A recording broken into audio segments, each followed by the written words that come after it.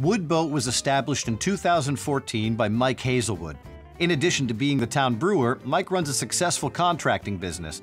He had watched this building change hands several times over the years, and every new venture seemed to struggle and eventually fail. But Mike saw the gorgeous view and close proximity to the Antique Boat Museum and decided he could make a go of it. So he bought the building and used his contracting skills to completely remodel and redesign everything. And then he hit on the winning combination beer and pizza.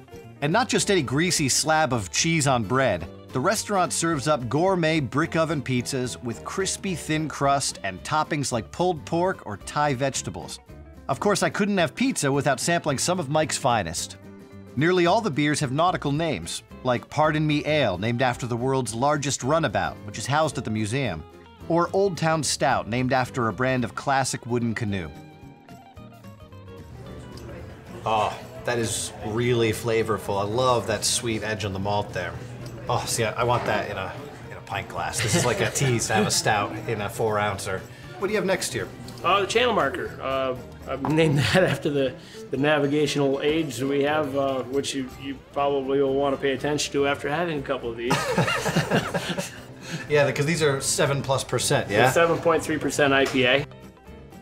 That is really good. What, what kind of hops do you use in this? All New that's 100% New York State hops. Well, thank you so much for spending time with me today. I love when the brewer gets to talk me through a few beers.